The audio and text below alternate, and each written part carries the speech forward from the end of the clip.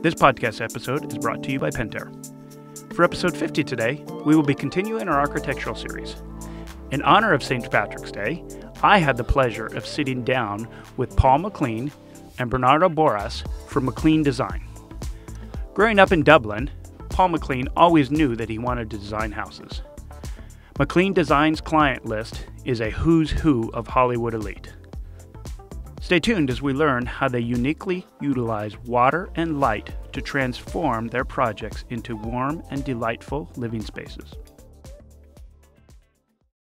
Hello and welcome to the show today. My name is Dave Penton from Fluid Dynamics Pool and Spa, and I have the distinct honor today of interviewing Bernardo and Paul from the Southern California based architecture firm McClean Design. Welcome to the show, guys. Thank you, Dave. Good morning. So, as our listeners um, may think it's a little weird uh, that we're a show based around water and everything, and why would we have an architect on? Uh, and so, one of the things that I have enjoyed uh, in, in looking at your work is that water is such an integral part of, of everything that you design. It's not just the typical swimming pool by others in the backyard. Um, you know, you guys really seem to try to integrate water in with your architecture, inside the house, outside the house. Um, you know, it, it really seems to be um, one of the elements that you really design into the projects. It's not just a um, it's not just a, a, a bolt-on, if you will. Uh, and so um, I'd love to get into a little bit of that, uh, but just also want to, uh, for the four people that might not know you that are listening. Uh, the four listeners, you mean? Exactly. Yeah, yeah. Uh, get to know you a little bit, uh, where you came from. I mean, uh, from Dublin through Laguna Beach and, and now into Hollywood Hills. I just want to kind of learn more about who is Paul. Right. Um, Paul McClean, and I grew up in Dublin. Uh, I've been here for about 25 years now, so that keeps makes me half my life in California and half wow. my life in Dublin. So I'm not sure where I identify completely with anymore, but I've still got an accent, so that's a clue. Um, so I grew up. I, I always wanted to be an architect since I was a very little boy, since about four or five years old. And uh, when I was growing up, I was was mostly interested in residential design, and that hasn't really changed. Um, and I came here mainly because I, I felt like, and I still feel like Los Angeles uh, Southern California is probably the epicenter of residential design in, in the world. And, and, it's a place where you see real innovation that then follows on into other places from there. So uh, I was very interested in coming here. I uh, worked for a couple of architects for about five years after I got here and then set up McClean Design in 2000. And we've been going strong since. And Bernardo, who's sitting with me, has been, well, we've been waiting for over 10 years now, right? 10 years now. Oh, 10 years. I've been up with you for 10 years. Wow, that's impressive on my Been part. with you longer than my wife. That's true. Oh, wow. and I'm easier to get on with. You are. so why don't you tell us a little about yourself then? Well, pretty much raised in California my entire life since I was one and uh, don't know anything else except for the California lifestyle. And since you know graduating high school, I always knew that this was my direction to go into architecture. Really? And, so that's uh, both of you had that from a very young age. That's really cool. It's like the priesthood. It's a calling. Similar to Paul, you know, I knew early, but I was kind of one of those kids that wasn't ready to go into the career world and just took my time. But when I was ready, that's where I was really focused on. It was architecture. And before joining McClean Design, I worked for few firms, you know, for a handful of years, and then finally found this firm and the architecture. It's really what's uh, focused me on moving forward in the architecture is like the the language that we're trying to perceive and express to you know people around us. So it's it's flattering to be part of this company that's grown so much in the last 10 years. He's looking for a pay raise. it's it's uh you know I come from kind of just blue collar roots myself. Me and, too. And I'm just a you I'm too, just a right? pool guy. Yeah. Um, you know, and and uh, um, you know, I like you find myself uh, in on some of these really high profile jobs. Sometimes I just walk in and pinch myself. It's like how did a normal kid, you know, from a normal neighborhood end up here? I mean, it's just such a, uh, I love, that's one of the things that I really enjoy the most about what I do. And, um, you know, it, it's, it's really cool. So, um, did you both, uh, what's your background? I mean, architecture, but uh, you know, did you start designing drawing? Um, I, I, read that you're really good uh, with pencil and, and all of that. Uh, is that was that uh, kind of just a love of art, or did was it always just uh, drawing buildings and architecture and, and doing that growing up? Dave, I almost got thrown out of my art class in high school because Oh, all wow. I would do was draw buildings all day long, you know. And they would say, "Will you just draw this the, the nice lady sitting in front of us You took her clothes off? Will you draw her?" And I'm like, "I gotta draw this building though," you know. So, no, I just uh, I was just loved drawing houses uh, from like from being a tiny kid. My mom said that uh, the first clue was I didn't put the windows in the corner of the sketch. You know the way the other Mm. kids did. I had them proper and proper doors and so on. So, um, I I just always was fascinated with. Uh, architecture and drawings. And I came come like yourself come from a very modest background and never really imagined that we would end up in this situation and, and have these type of clients be doing these type of houses. Uh, it was not something that we set off with a plan to do. It just Sure. kind of evolved. And uh, I think we started off doing homes in, in Laguna Beach, and there's a design review board there, so there's a lot of uh, talking and negotiation. And as Joe Biden says, us Irish are good at talking. That's one of our. We're not good at cooking. We're good at talking. and um, so I, I got a reputation for being able to negotiate with neighbours and the board and so on, and and that actually led to to more and more work and. And then sometime in the, in the mid 2000s, we had a client who had a project that they wanted us to do up in, in Hollywood. And uh, when the big recession happened, we were just finishing that project, and he unfortunately had to sell it, but it sold for a lot of money, and that just got us a bit of an instant reputation there. So, so since then, we've really concentrated on, on doing homes. Our, our- the bulk of our work is now in Los Angeles um, and uh, and on beyond at this stage, you know. But uh, but going back, I mean, it's really about the drawing in the end. That's where it started, and it's still, for me, it's still about drawing and, and thinking of ideas, and also just communication with people. And and uh, we really do enjoy our clients, and we, we we're very they're very interesting people. We mostly have people who've done something interesting with their life, and that's how they got to be as successful as they are. And as we know, you need to be successful if you're going to build a house like this.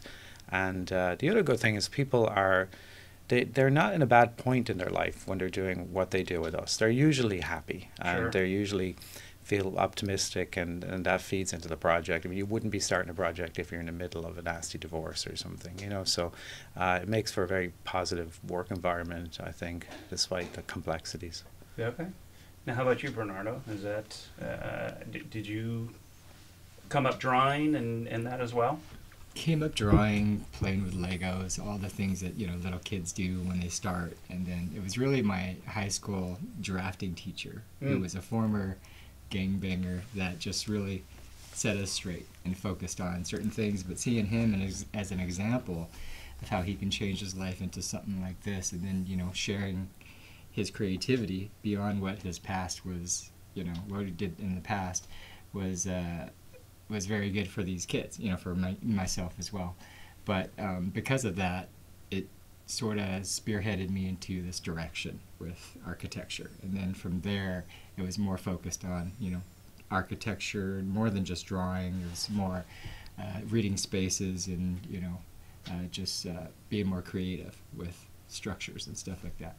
But um, like Paul was saying, you know, we're very fortunate with the clients that we have, and then starting from you know the modest little homes to now the mega mansions that we work with and and design, and it's it's incredible what we're able to do with uh, and, and sharing this and the joy that we see in our clients' eyes when we do give them the keys at the end, and they do, then they do move in. So Yeah. it's uh, special. Yeah, yeah. One of the things that I really enjoy is just uh, you know we we deal with water, and so um, you know the the the way I like to explain what I do is is we build people's dreams, and you know it's it's uh, backyards and and water elements in the pool. It, it's it's people enjoy to use those spaces, uh, and and we're we're we're creating family time and we're creating relationship and we're really uh, we're really uh, it, it's one of the things that I love the most is just being able to be a part of projects where where we know how it's going to be used, and and uh, so I, I love that.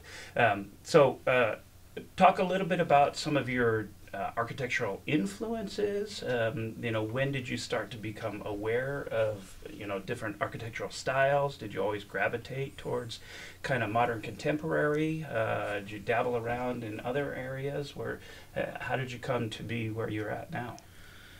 Um, I think I can remember. I think it was you know back in when I was ten, there wasn't any obviously any internet, and uh, it was the local library, and obviously it was a, a, suburban library in Dublin, so it didn't really have a big architecture section, probably about five books. but uh, I do remember the first book I, I saw was a Frank Lloyd Wright book, and. Uh, he had, and of course, the first house in the in the, it was Falling Water, which is we all know about. Um, and I, I was completely perplexed by it at first. I couldn't really see why that was a house. That was when I was ten, and um, so I I really was fascinated with that. I've only only been interested in contemporary architecture, uh, international style through to today. I think I was when I got to college. I discovered all the case study houses in Los Angeles, and, and that's a for those who, who don't know about it, it's a really interesting program where architects try to design houses for uh, regular families after the war. That was the concept behind it. Of course, today the ones that we have are all sitting up in the Hollywood Hills and are probably well beyond most people. Right. But, but the the concept behind it was to introduce modern homes to to the general public, especially in that post-war period where there was a lot of people moving to California and to try and take it in that direction. So that was so I, I was always fascinated, like I said, with with residential architecture, and uh, I love the work in Neutra. Um, I, am not so much of a Schindler fan as I am a Neutra fan, but I think I like the. It's interesting; those two are always, you know, two of the bigger names in Southern California. But uh, I like the clean lines that Neutra did. So th- that's part of what pulled me to Los Angeles in the first place was uh, that style of architecture. So for me, it's just always just been that I never understood the postmodernism movement in the 80s and 90s, or uh, you know, and or replication. I always felt like I think people get sidetracked by that, by by the pastiche of what it looks like, when really what you know they're often looking for is when they look back at old towns and cities and that they find so attractive, like we have in Europe or on the East Coast of America. It's really the scale and the, the pedestrian nature of them and uh, the scale of the streets. Those are the things that people you know are attracted to, but often. The, you know what we get is people making pastiche of those buildings eh, mm-hmm. uh, rather than trying to reinterpret that in a style more appropriate for today.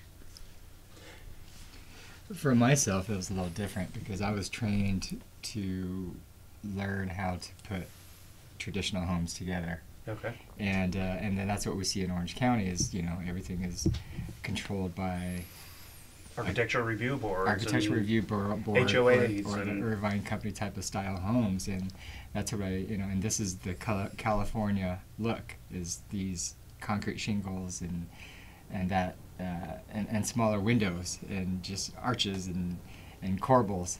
And then, you know, I learned to not like that mm. by being in, you know, in, in working with it.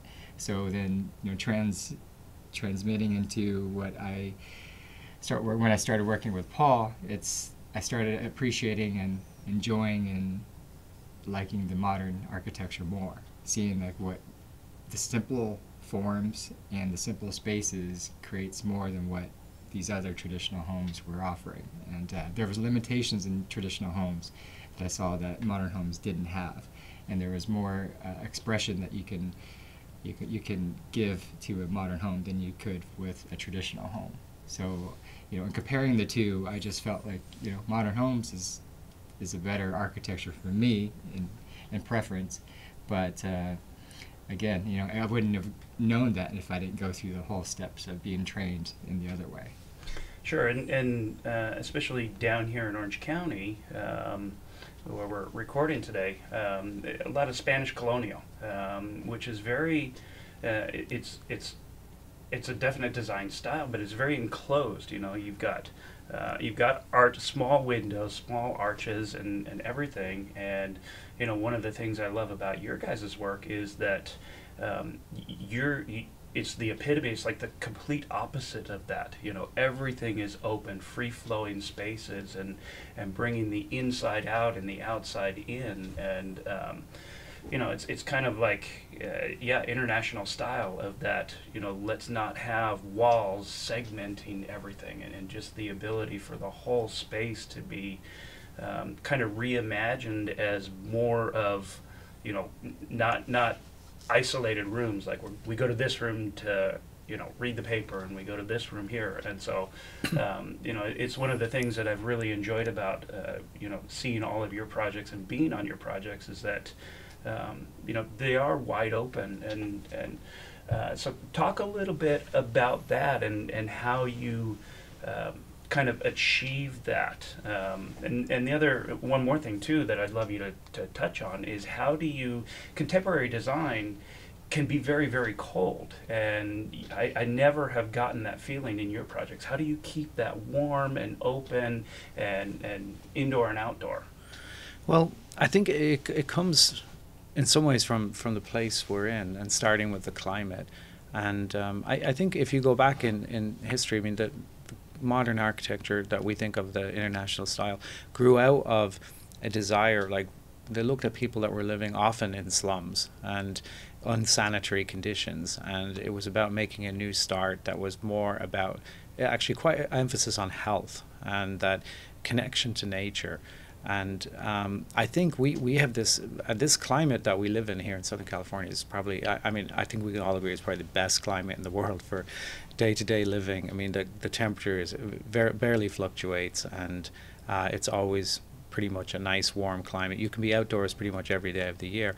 And someone coming from somewhere like Ireland where it rains a lot and it's cold, that that's enormously attractive. So for me when I came here it, it was all about connection to nature and, and I think that's one thing that also the topography of Los Angeles or greater Southern California lends itself to that it's there's so many mountains and the sea and the, there's great opportunity to, to connect with nature or connect with views of the city or connect with views of the ocean. So that's our starting point is often about view and how can we connect with nature. And even if we're working on a flat lot, you know, we still have the opportunity to, to look at nature and how can we connect the inside. And I think that actually by itself adds a lot of warmth to the project. So we try that the house does not get in the way Mm. of uh, interacting with its environment.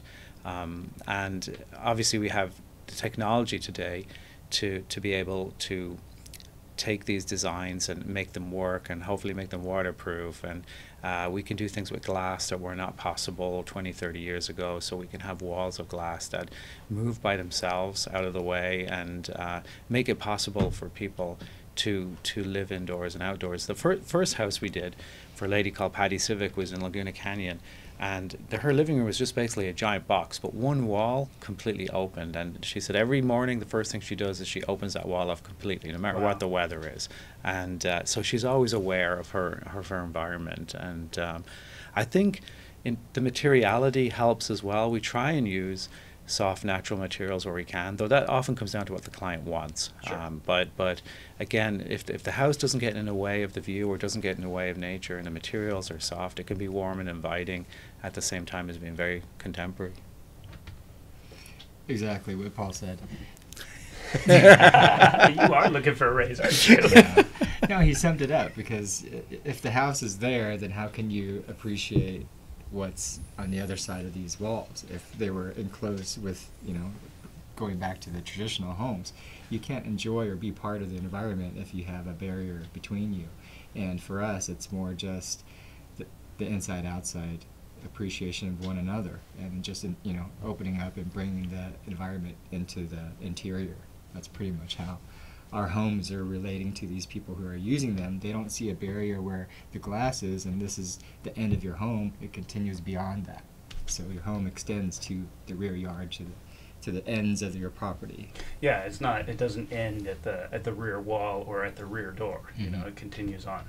So I found this quote, and and I, I want to. Uh, I, I, I love this quote as a water guy, uh, and so uh, you were quoted as saying, "We think that water changes the atmosphere and it makes people slow down."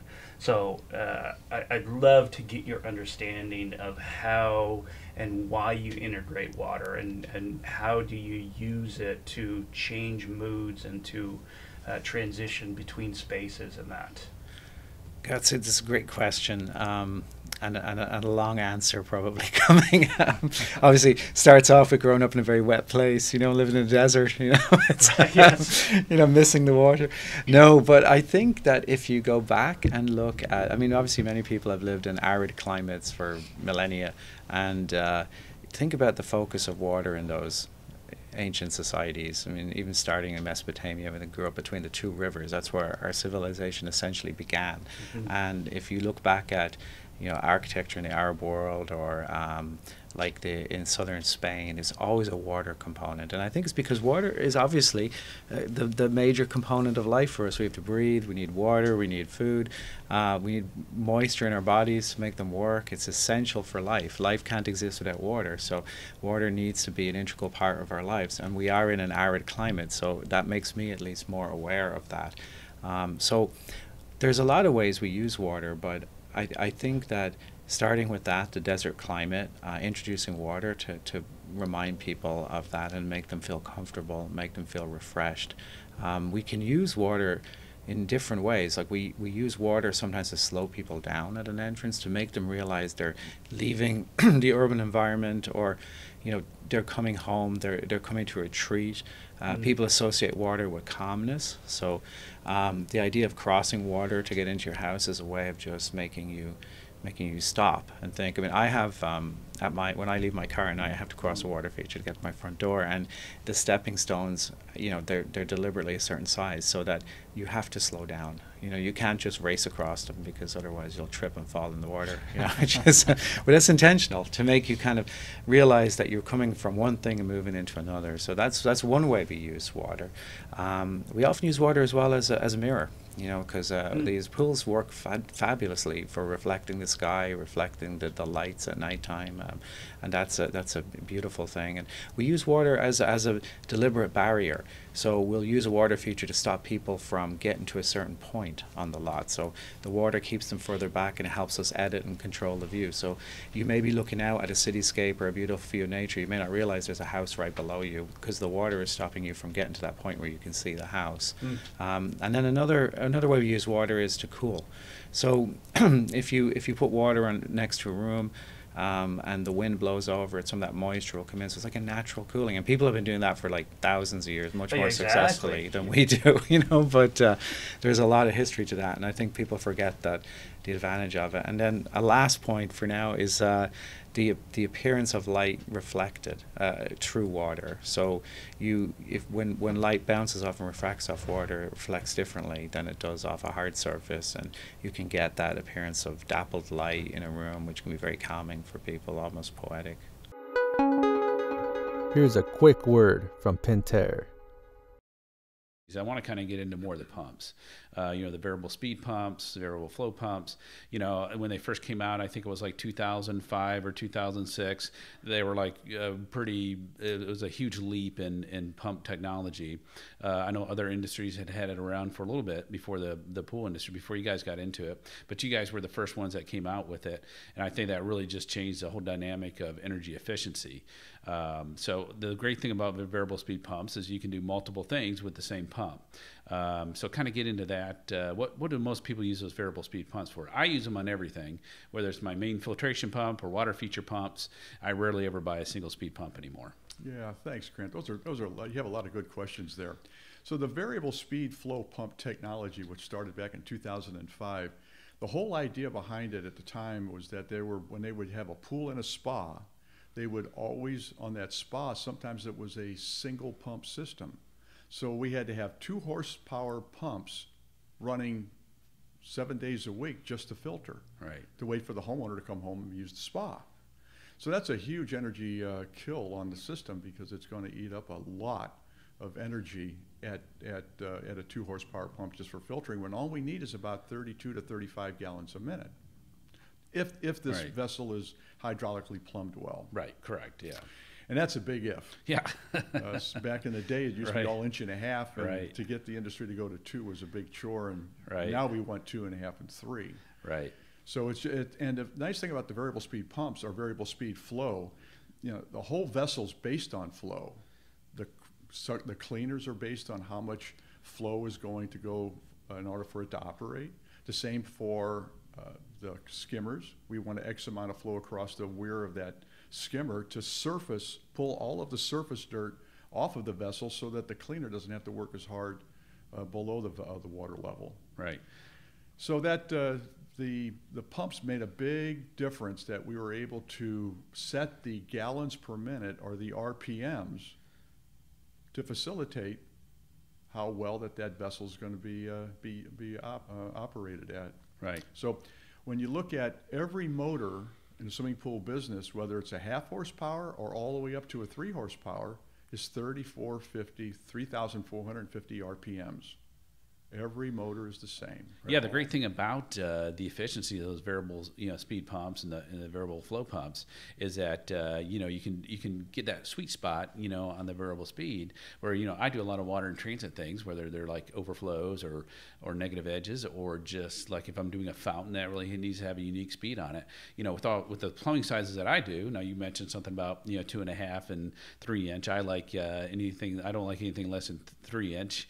You know, I do a lot of four inch and uh, six inch. So I like to, I love to play around with it when I start up, uh, you know, a pool. Like we have a lot of water and transit, like overflow edges, and I just love to sit there and play with that pump a little bit and just dial down that perfect speed to make the water, you know, flow over, you know, on all on all sides at the lowest possible speed, you know, for the most efficiency. I get a real thrill when I see the wattage, you know, that's being used, and it's like, oh well, this is no more than a, you know, than a lamp, you know, in, in, inside the house. So absolutely, I, I tell you that that pump is a game changer all the way through. Given that every vessel that's ever been built and will be built in the future, that it's a snowflake. I mean, it's, it's, it's as different as a snowflake in the plumbing as, as anything could be out there. And that pump can adapt to whatever it needs to be. So that means you can change those gallons per minute to facilitate whatever that event needs to ha- on how that event needs to look. So with especially with uh, with IntelliCenter now and a new digital valve operator, it allows us to set up with one pump multiple speeds or flows that will facilitate that look of different water features and bubblers or vanishing edge, all with the push of a button that the analytics are built into it that when you push that button, it automatically facilitates that to happen. And with the flow, especially with the flow, that if you say you have to have 40 gallons a minute, as the filter gets dirtier and dirtier, it will increase the RPMs to make sure that the flow stays consistent. Right, and that's a great thing, especially for consumers that sometimes take care of their own pools, or even some uh, guys that don't really clean the filter as much as they should. yes. um, you know, that works out really well to keep up that maintain under that flow. So, um, you know, the great thing I also like about the variable speed pump is you guys have come out with like smaller models of them, so they don't always have to be like 220 gallons a minute or 160 gallons a minute. You know, like with the i1 pump, it's 120 gallons a minute. So if you have an older pool that you know had that one inch and a half plumbing on it, you can actually buy that uh, i1 and actually actually find that sweet spot, you know, to where the hydraulics will actually work better because you're able to put a pump on that more matchly sizes the, the size sure. of the hydraulics. Sure. And, uh, you know, that's a lot with the safety factors too, because, you know, unfortunately, line velocity, if you have a big pump on there, like the two horsepower pumps that we all used to put on, you know, prior to the variable speeds coming out, um, you know, that line velocity was pretty incredible on a two inch line if you're putting a two horse WhisperFlo on there. So we're able to really get more safe and that we can, you know, we can find that sweet spot and that speed and lock it in. You know, so our main drains, uh, you know, especially on older pools that don't get renovated, so our main drains are safer, and uh, our lane velocities we can slow those way down. So. And under new construction, when you really need massive amount of water flow, you got the XF. Sure, and, and just the the interplay of light and water and and you know, do, do you want the water perfectly smooth, you know, and, and you're going to get uh, some refraction with, with smooth water and it's very different, uh, you know, as opposed if you introduce some movement into the water and you get that kind of dancing effect. So you can really, um, so uh, talk a little bit too about lighting and water and and how does how do you envision? Because a uh, a pool at night versus a pool in the day or, or even any type of waterscape. Um, uh, they become different elements and, and they're almost like uh, completely unique depending on whether it's night or day. Well, water walls, for example, is a backdrop and it's a terminus if you were looking down a corridor or it's like an art piece. So it accentuates uh, you know the, the space or it ends and frames it and allows you to focus on a water feature that's cascading down and um, similar to the project we worked with you on in Bel Air, uh, we have this long water feature during the day. You know, it's really nice to provide the sound that you can buffer from the street noise. And at night, it allows you to have this pretty entrance and it guides you from one point, the starting point from the motor court, leads you to the entry. So with the, the water feature being lit, then it allows you just you know to start from one area and takes you to this journey towards the front door. So um, lighting is a key factor in water features, and why can't, why shouldn't you not enjoy the water feature all the time, whether it's during the day or at night? And um, and you know it's it's really just here's your water feature that uh, that that's used, and you just want to you know really enjoy it all the time. Yeah. Now, one of the challenges that I see as as a, a contractor building these is just that um, a lot of them are, are fairly complex, uh, and and though they look simple and that uh, it, it's their um, the integration uh, can sometimes be hard. Uh, and can you talk a little bit about some of the frustrations that you guys? So, I, backing up a little bit, I feel like um, you guys are the artists, and it's my job to bring your vision to life. And um, I, I, in talking with previous architects, um, I know that that's a challenge, and, and a lot of times um, you guys don't feel like we've captured uh, exactly what you want. And so, can you talk a little bit about that and what you would like to see from, uh, you know, from from those of us out in the field putting these together for you? Well, I mean, one thing we, we in our office we're, we're very very aware of is that you know we, we don't operate in a, in a vacuum, and um, we're not believers in in going around and telling people what to do. I think you kind of hit the nail on the head, Dave. Like what what we want to, to have with our relationship with someone like you is to be able to say this is our intent. Uh, how, how do we how do we achieve that intent and be, being fully aware that you you know a lot more how how to put that vision together than we actually do. We may may have an idea or a vision of what that should be, but we need people to help us achieve that. And so I think obviously communication is key to everything. Um, I think often architects make mistake of trying to dictate how things should be put together. Mm. Um, when they don't really have the knowledge. I mean, we, we, we have a lot we have a lot of areas where we're kind of at a, at a level. It's like a high concept level, and I guess in the old days, the architect was responsible for everything. But projects have grown so vast and so complex that we're just one of the team players here. But we still have to. I think part of our role is to to be the person that guides the project forward, so that all the ideas and and the great ideas we're getting from everybody can be, you know, combined into something beautiful. Um, as you know, if a lot of people are just talking at the same time or, or coming up with different ideas, it can go on, it can go just sideways really quickly. So our focus is to try and steer the ship in one direction, right?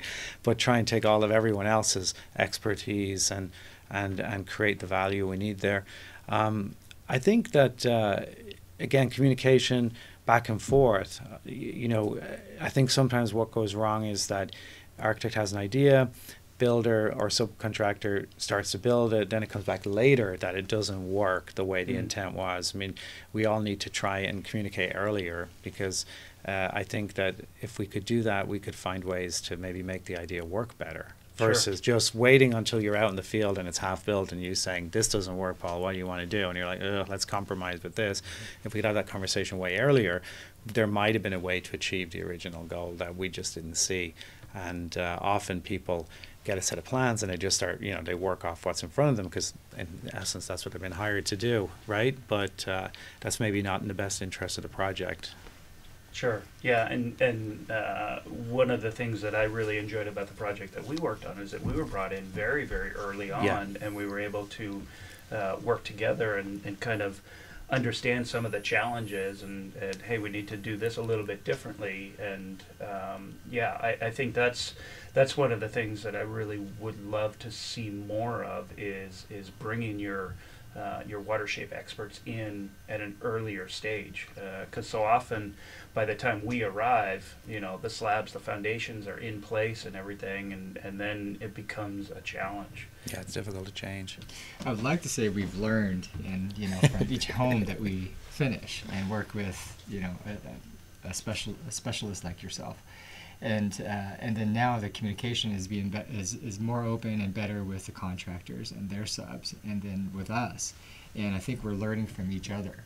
And we, we, we work with a handful of contractors that have experience of our homes. You know, it takes a while for them to understand our style and what we like. But I think as long as we keep the communication open and then continue with the process of understanding what you need from us and what we need from you to execute this overall concept is important.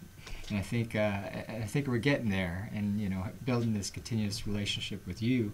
Um, I think it's just going to make their future projects and water features that we're trying, you know, we're, we're trying to come up with better and bigger and more, uh, you know, not crazy, but more um, ex- expansive ideas. And then, you know, you're here to help us try to make that come true. Yeah, and I think adding to that, our, our projects generally, we're, we're always striving for simplicity, and, and simplicity is often the most difficult thing Exactly. to achieve. Um, it's very easy to have lots of different components doing different things. It's much more difficult to try and take, say, the example of a pool, a water feature, and a, and a hot tub, and make it completely seamless so it just looks like one body of water. That's uh, almost an impossible task, you know. But that's what we're striving for and trying to make you do for us. Sure. know?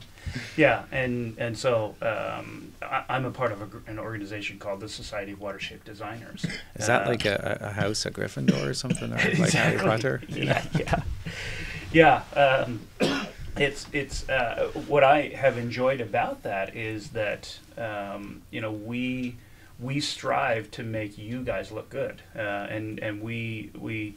Uh, like I know just enough architecture to be dangerous. Uh, I, I don't, uh, you know. So we've had to take some architecture, some drawing classes, some Great. color theory classes. Uh, uh, but then a bulk of our curriculum is based around hydraulics and mechanical systems and engineering and that. Uh, and and I think um, I think it is it's allowed me to have a real holistic understanding of water.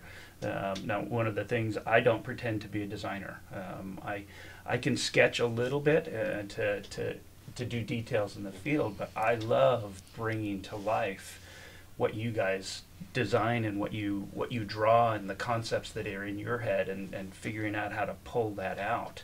Uh, and so, uh, I mean, that's that's the most um, engaging thing for me and, and keeps me going. Um, I'd love to get into just a little bit more um, how you like what you said you've used water to um, change the mood and to, to draw you in and to slow you down. Uh, I'm seeing so much more water integrated inside the house, uh, and that's kind of a newer thing. Um, you know, I'm really uh, the the project that we worked on. Um, you know, that whole front entry water wall that that we couldn't end up figuring out how to to build it, and from an engineering perspective, but um, you know that was such an intriguing concept to me and and how do you how do you enjoy bringing water inside the house now Well, that's a that's a, a good question. I, I don't think we really have very much, and um, I I think there, if water in some ways is way more problematic inside the house Yes. than outside, so uh, we've kind of tended to, to stay away from that. I mean, one of the advantages, obviously, of working in such a pleasant, balmy climate is you can have the doors open all the time, so you can put your water features outside and not worry about having them inside and dealing with the, the either the moisture problems or or the uh, problems with odor, I guess. You know, which which is another issue that you know you, you're limited. You're often using chemicals to keep that water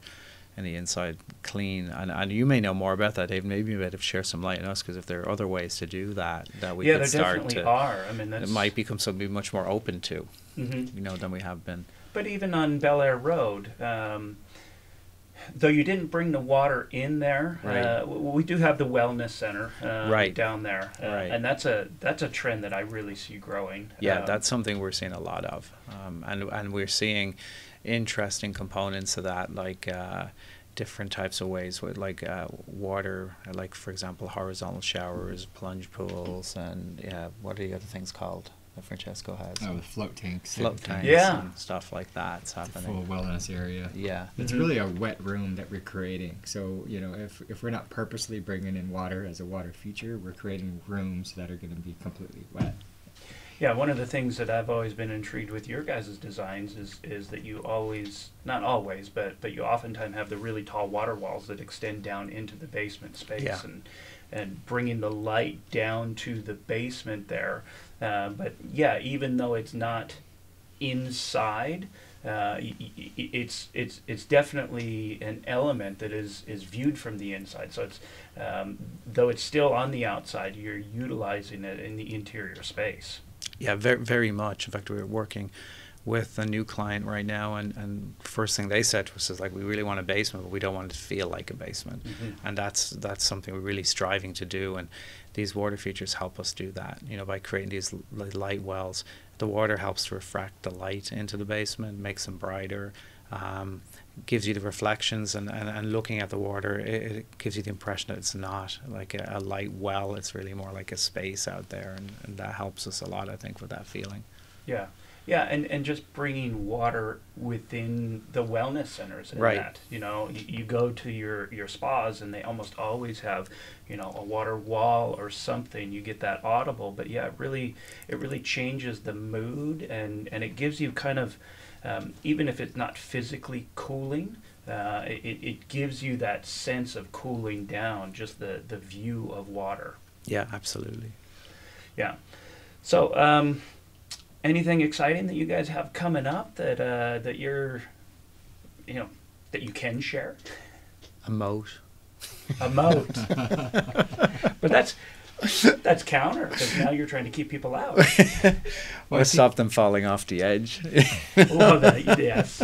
I think you're going to be working on a project for us where we have a pool on the roof, water feature on the main level, and then another pool in the basement here Mhm. in Newport. So, uh, Oh, you know, yeah, that's gonna be three fun. levels of water, and a harbor outside and too then a harbor on the other side of the property. so, Yeah, yeah, I'm real excited about that one, and and that's really fun. Uh, do you guys? How much are you working down here locally? You know, it's interesting. I mean, I, I'd say Los Angeles is now really our home market, despite the fact that we live and work here. But we'll, we'll go up and down a couple of times a week, each of us in the office. Um, we're doing uh, uh, two or three projects in Orange County right now. Um, we're also doing projects further away, though, uh, which which is interesting too. So uh, it's been interesting with the uh, onset of social media, particularly Instagram is very helpful Mm. for us in finding clients um, because we can post. Some people like to look at pictures, and we have a lot of nice pictures that we can post for people to look at. And we we now have projects. Um, projects in Hawaii, in different states like um, in Oregon and That's in nice. British Columbia, Nevada, and up and down California. So um, that's really great, and uh, uh, it's also just really interesting to be out of your local environment and dealing with different conditions. We just finished a house in Whistler, which is a ski Oh, wow. house, yeah, and uh, we still got a pool and a water feature in though, but. Uh, you know, it's That's uh, a little tougher in, in it's a uh, little the tougher up Canadian there. environment. It, it is indeed. But uh, then we have the snow, which is a form of water too. So there you go. Um, no, but it's just great to, to, to do to do things like that. And uh, we're working on a project right now, which we're very excited about, which is in Thailand in central Bangkok, and it's an it's an urban urban large scale home, and uh, designed to with with a lot of water usage and uh, to create like a, a almost like an entire wellness environment in the middle of the city and so Mm. it focuses on calmness and trying to introduce nature trying to introduce water um, though you're surrounded by skyscrapers and really you know other in dense urban environments so that's going to be very exciting Is that residential? yeah, it's a residential single family residence, so um, pretty large. Um, but uh, it's just interesting to th- there's all the nuances of Thai culture that we have to think about, which is just a little bit different than how we, we live here, and uh, and what it's it's fascinating the similarities and the differences, and how do we accommodate those changes? And they have a lot more staff that they use in their house, so. Um, that's something we've come across as well in some of the larger projects here. Sure. You know that you deal with staff. How can you if a house needs a certain number of people to, to make it work, you know, much like some of those big homes on the East Coast a hundred years ago, uh, how can we do it in a way that, that the people who are the owners or the guests aren't constantly aware that there are staff around them? Give the staff an opportunity to get from A to B without necessarily marching right through the center of the living room, for example. Exactly, invading the space. so that you can feel like it's your home and feel like you have privacy, even though you're in these homes have a large amount of people who are supporting you. Hmm. Yeah, that's an interesting concept that I hadn't even thought about from an architectural perspective. Yeah, we do have a jellyfish room as well, of course, coming up. That's Really? a jellyfish room. Yeah, so it's like aquariums on three walls and a roof. And the roof. Yeah, so you go into this space and the jellyfish will swim up and around and so on. So that that's a fun room. Wow. um, uh, one thing that I that I see a lot in pools right now that I don't notice that you guys do much of, um, and is it intentional? Um, uh, acrylic. You know, acrylic is. Uh, I'm still kind of. I don't know where I stand on it. I think it's in in some ways it's being overused as an element, um, and um, you know where where are you guys on that? I think I'm kind of where you are on it. You know, I feel like there are s- there are situations where it's entirely appropriate, and then people are often just using it for the sake of using it, which I, I don't really feel makes much sense. It's just a Um, bolt on it. It's kind of like yeah, the new the new thing. Let's have like we have a pool right now that we're working on. That's that we're finishing up where um, we needed to get to a lower level, so we create this this grand flight of stairs, and the stairs goes under the pool. So we the section where you go under the pool we made of acrylic. So it's like a three sided acrylic. You know, but it's like so it's almost like two pools with an acrylic section in between. I think that's fun and successful Sure. because there's a there's a methodology to it and you've got a journey to go through and you can as opposed to just looking at a piece of acrylic stuck on the side of a pool um, so I think it, it makes sense for situations like that um, I don't and I think it can be useful as another way of transmitting light into a basement area for example though though it's often you know people go yay let's put in acrylic and we get people swimming but you don't realize that the pool's you know usually way up in the air and the basement's way down in the bottom so you're lucky if you get a one foot strip that's up at the ceiling Right. you know, and that's again somewhat pointless. You know, so um, I think uh, if we can find a good use and it, it creates drama and um, it seems appropriate, it's great. But um, I, I just wonder personally about the long term, you know, how how it's going to hold up over time. Yeah, viability. Yeah, if it's going to you know scratch or yellow or less, just become less more opaque or you know just we'll see. I guess it's Yeah, interesting. I, I think it's. Uh, I think on that side of it, it's mature. You know, Yeah. um, uh, Shamu Stadium. I mean, it's been Oh, around true, for yeah. a long time. we haven't um, put a as whale in the house. You No, know? No, no, no, we don't believe in that. you know, Sharks. so- no, no, you have to leave the poor creatures alone. You know, put put people in the pool. That's right. they can swim That's around. We can pay them. That's what they're for. Um, anything exciting in water that you guys are, are trying to dabble in that you would love to be able to and haven't been able to figure out? What are what are some of the things that uh, that what are some of the frustrations that, that water? I mean, you you mentioned one, uh, kind of the uh, the smell aspect and the chemical aspect, um, and uh, I really feel like in the last like five years we've been able to develop that and, and take some of that away. But so, what are some of the limitations that you you f- hold back from water uh, in your designs, and what would you love to do that you're not? I think materials, how water is associated with materials, and how we can't put certain materials next to water or in the water. Um, finding ways to stop the water from, you know, touching or entering those areas where materials won't handle the water. Uh, those are the pretty much the challenges we face, is because we want water to be completely integrated with the architecture and the structure. And then when you have elements of materials that project beyond it, you know, in an aesthetic view, you'd have to see how that translates. So whether it's a switch of materials or a, a barrier to prevent the water from, you know, physically touching that material. So those are uh, what we're facing today, and we're trying to find ways to to work around that. And I think you helped us a little bit on our Bel Air job of uh, limiting our water walls to come down to an adjacent limestone piece of you know, wall cladding Mhm. and how to stop that water from completely, you know, saturating that face of, of wall cladding. Yeah, yeah, and oftentimes it's just a collaboration uh, and, Mhm. and coming together and understanding. Okay, here's what, here's the limitations. Here's where it's going to be, and and um, yeah, that's that's what I enjoy bringing to the table is is how we can solve some of these problems. Yeah, that's awesome, Dave. I think seamlessness in general is a good word that you touched on.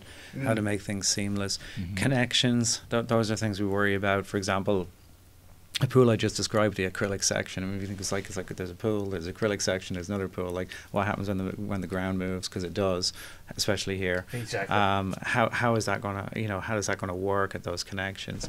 But I think going forward, uh, lighting is something that I think we're going to have to think about more. I I think there's there's tremendous opportunity there, and um, a lot of lighting can be you know either not so successful or underlit or also garish as well. And I'd like to try and see what we can do going forward to think about lighting better and make the lighting more integrated with what we're doing elsewhere on, on the homes and that that's something I'd really like to do it. I think playing with water texture would be interesting too. Mm. You know that right now we do a lot of um, you know, either have water walls, which you know, there's splashing is a big issue. Right. We have to think about as well. it? Yeah, how do you contain splashing? But also, it'd be interesting to see if we could do things where water was, um, we could put still water next to moving water, and Mm. you know, how could we play with that as a new kind of concept? You know, a, a while ago, I went to. Um, the Amazon, and there's this bit where the two rivers come together, like the Amazonia and the Rio Negro, and they're Mhm. like the two waters come together, and one is black and one is like I've brown. been there. It's the crazy, most- isn't yes. it? You know, and you see these two water, but and the temperature is different, and you can just run your hand through it, and um, so it just made me think about, you know, how can we do something that people haven't seen with with water? You know, like different texture, different movement, and so on. Yeah, I think we played around with that uh, on, on Bel Air. You know, Yeah. we had the big water wall that came down, but then the challenge was we had this reflection pond right next to it Right. that had to stay. had to stay you know, calm. Yeah, exactly, and and you you, you have to be real intentional about uh, modifying that. Um, and the seamlessness, I mean, that's something that I'm really intrigued by as well. Um, Yeah. You know, how do we create different environments? That's one of the ways I I foresee integrating acrylic. Um, Yeah. You know, it's, it's what we're talking about on the, the Newport job, um, where we have also this large water wall coming down um, into a swimming pool. Uh, it's not coming into a water feature. Right. And I'm proposing that we put uh, an acrylic barrier in there um, because we're going to have so much heat loss coming off of that, that that the pool needs to stay warm. And, and by running the water down the water wall, you're constantly cooling the water. Right. And so my one of my solutions that I'm exploring with the contractor is putting an acrylic wall in there so that it reads as a single body of water when you're in the space, yet it uh, we have the functionality uh, where we can keep the pool warm and it's not going to cost the client you know significant amounts of money. So that's that's one of the, the things that I'm intrigued with uh, with utilizing that medium is just utilizing it to create um, exactly what you're talking about. How can we make everything seem Right. like it's all one, all one body, of water? Yeah, that's one that new project I was just talking about. We're trying to do something where there's like a linear pool that becomes a water feature that spills down into the basement. So and then becomes a water feature down below. So really, it's three components, Mm. and the idea is make them read like a seamless element, but in reality, they're going to be three different things: three different water temperatures, three different usages, and so on. But to get that appearance that they're all one thing. Sure. All right. Well, thank you guys so Thank much. you. It's Thanks been a us. it's been a, a great conversation, uh, and and again, I'm just so honored that you guys would choose to come play with me today and, uh, and and get up this early morning with us. Uh, thanks for having us. We really appreciate Thanks, it. Dave. Ask the Masters is dedicated to educating, mentoring, and designing a better workplace for the swimming pool industry and their families. Please take a moment to share, like, and review our content with all of those that would be interested.